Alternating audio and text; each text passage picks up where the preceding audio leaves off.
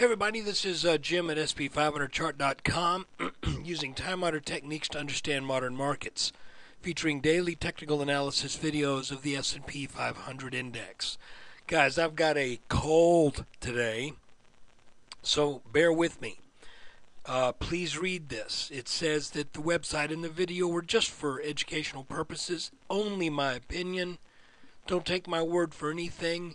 You need to do your own research and invest according to uh, your own financial situation. I'm not a licensed financial professional, just a guy who draws lines on charts. It's funny when my voice gets this way, I feel uh, I feel like uh, I sound like Chris Berman on ESPN. Pick, pick, pick, pick, pick, pick, pick. It's gone.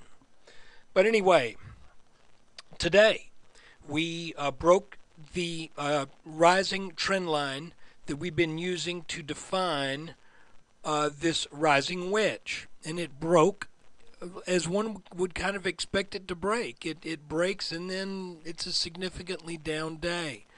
And at points uh, during the day, well, we were down, oh, under 1360. Now, there's a couple things to consider here. First, first thing is this really happened sooner than I would have uh, liked, but I know I don't get. They don't ask me, and I don't get to vote. Neither do you. So it is what it is. The market closed above this line that I am considering as a potential neckline in a head and shoulders pattern and this would be a standard head and shoulders, not a not an inverted pattern, standard head and shoulders that would set up a back test uh, or set up a test, shall we say, of some support levels, uh, probably in the low 1300s.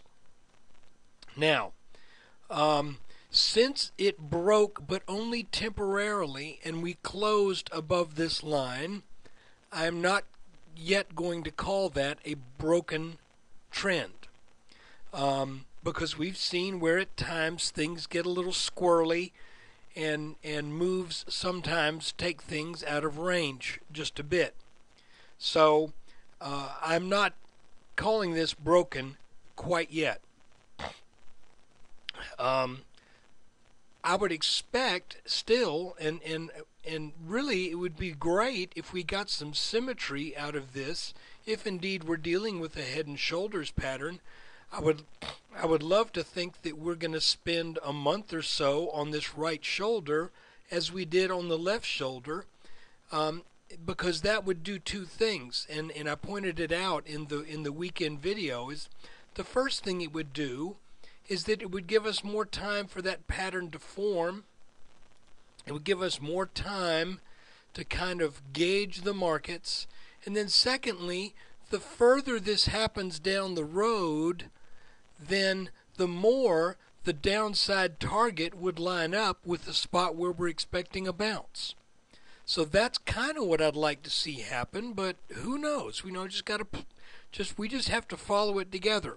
Um, so since we are above this line, What's interesting about today is I do not know whether we call this a legitimate bounce that we came down, tested that neckline area, and now went a little below it, then came up and closed above it, and now we're going to go back and back test this blue line somewhere. Or is this move uh, off that bottom that was uh, hit pretty early in the day is just going to play like a bear flag. If it plays out like a bear flag, then then we will be taking this line out in earnest and will likely be uh, uh, selling off down into the 13 1340s over the next couple of days. But I'm going to reserve that call for when this line is taken out in earnest. I'm not totally convinced that today that we consider this a, a, a well we really can't because it recovered back into the pattern.